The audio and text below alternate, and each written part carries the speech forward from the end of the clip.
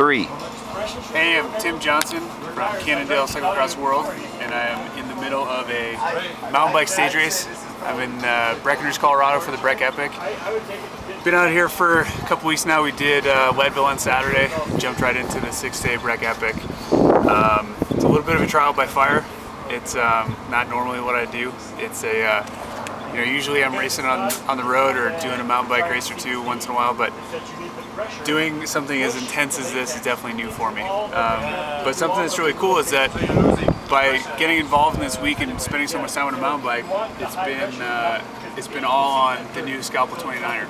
It's a uh, it's kind of like the perfect bike for me because coming from the road and coming from cross, I'm really used to the you know 29 inch wheel.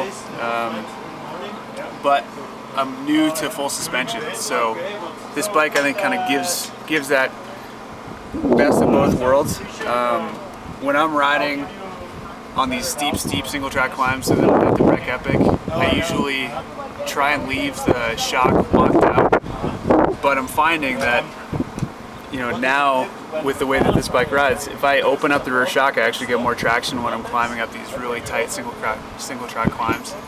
Um, but that's you know it's really new because coming from old school mountain bike with a front fork that doesn't always work that well, getting onto a bike like this is really totally customizable. It's it's the bike that is perfect for the situation that you're in. So you know if we're at Leadville and we're doing 50 miles of fast fire roads, I left both of the shocks locked out and just laid down the power and everything just came right back to me.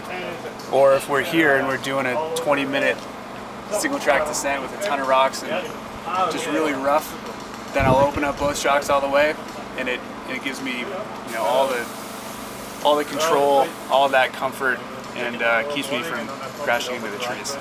So definitely a very, very happy Scalpel 29 rider and uh, I think you could be too.